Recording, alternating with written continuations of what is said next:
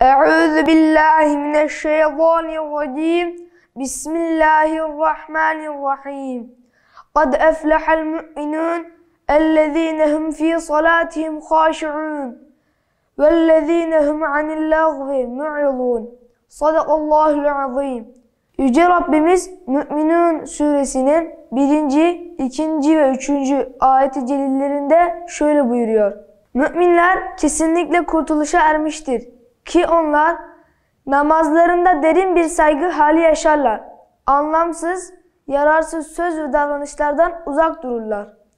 Kâle Resulullah sallallahu aleyhi ve sellem Min husni islamil mer'i terkuhu ma la ya'nih.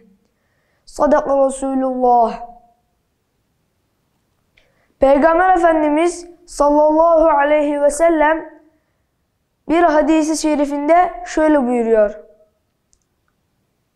Kişinin malayani şeyleri terki İslam'ın güzelliğinden ileri gelir.